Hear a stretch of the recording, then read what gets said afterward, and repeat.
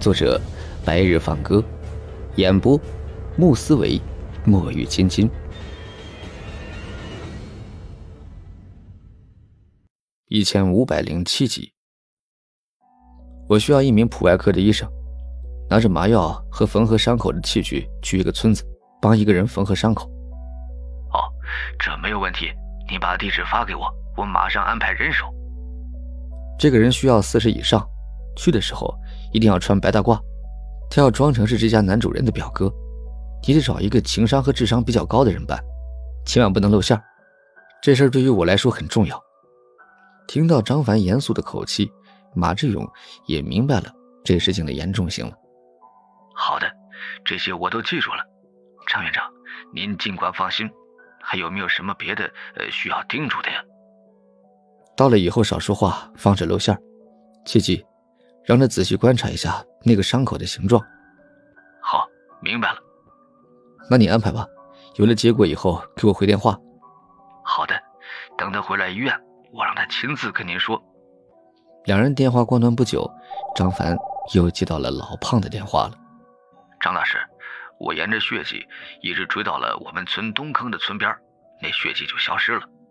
我感觉那个家伙应该就是在这里受的伤。东坑的水很浑浊，从表面看不出来什么。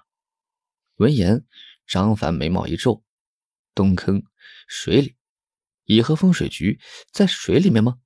风水局是讲究山川地势排列的，按照常理来说是不可能在水里面的。难不成那瘦弱男子来桃李村的目的不是为了乙和风水局，而是别的吗？还有。”从身材瘦弱男子对壮硕男子的针对来看，他们两人是竞争关系，是有共同目的的。如果两人不是为了乙和风水局，那他们的目的又会是什么呢？一下子，张凡脑子很乱，理不出一个头绪来。张大师，张大师，迟迟没有张凡的回应，老胖开口问：“哦，接下来你好好监督他们两个，还是那句话。”有什么情况，随时联系我。呃，好的，张大师。对了，我派的医生已经去了。您放心，我马上回家，一定把戏演好。随后，两人便没有再多说什么，把电话挂了。张凡收拾完了碗筷，驱车到了平山第一医院。今天是欧阳老头第一天去带他媳妇住院，他作为医院的副院长，理应过去看看，让医院的医生们多多关照。等张凡到了，欧阳老头正在办理住院手续呢。张凡跟他打了个招呼，便到了妇产科主任办公室。妇产科主任一眼便认出张凡来，张凡言简意赅的道明了来意，让妇产科主任关照一下欧阳老头的老婆。妇产科主任十分痛快的答应了，并且亲自为欧阳老头办了住院手续，而且还安排了一间特护病房。把欧阳老头老婆安顿好，张凡和欧阳便出了房间里，在楼道的椅子上面坐了下来。怎么样，去了吗？嗯，去了。找到了吗？没有。在水里面的风水局，你有见过吗？在张凡的认知里，虽然没有置身于水中的风水局，但不能代表就真的不存在。毕竟他并不是风水堪舆一脉之人。置身在水中的风水局。欧阳老头有些错愕，短暂思考了一会儿，他说：“我还真没有见过这样的风水局啊！怎么，你怀疑桃李村的乙和风水局在水里面？我也不清楚啊，现在很多事情还不清楚，没什么头绪。可大胖家现在已经住了两个玄门中人了。呃，我说你怎么回来了？”现在咱们没什么线索，静观其变倒是最好的办法。你呀，也不用着急，咱们慢慢来。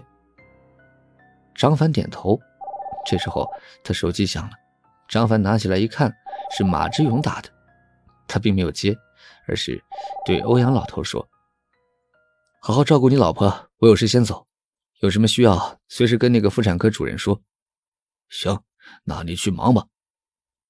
欧阳老头摆了摆手，目送张凡离开。张凡到了马志勇的办公室，马志勇的办公室除了马志勇本人以外，还有一名四十五岁左右、梳着分头的中年男子。见张凡进门，坐在沙发上面聊天的马志勇和分头中年男子都站起身来，都是叫了一声“张院长”。张凡冲马志勇点头，而后把目光落在分头男子身上：“你就是被马院长派去缝合伤口的人？”“哎，呃，就是我。”坟头中年男子重重的点了点头，辛苦了。那个伤口是什么形状？那男子的身上不是一道伤口，有六道，受伤的位置呈圆形，直径大概有十公分，受伤位置都是被钝器所伤，呃，就好像是被大锤子给砸了一样，皮肉组织都已经碎裂。闻言，张凡的眉毛不由一挑。中年男子的脸上也浮现出一抹疑惑来。有件事让我觉得匪夷所思啊！寻常人体受了这么重的打击，血肉之下的骨骼一定会折断，但是我看他的骨骼却并没有折断呢。对此，张凡并没有什么疑惑的。将真气灌注到骨骼里面是可以增强骨骼强度的。那身材偏瘦男子很可能在接受打击的时候这么做了。这时候。坟头中年男子又说：“哦，对了，张院长，我发现了一件事情，十分奇怪啊。什么事？那男子的血液打眼一看是红的，可是仔细观察，他血液里好像混合进了蓝色的物质，那种蓝色光芒十分的明显。”感谢你的收听，喜欢的话，请记得点赞留言。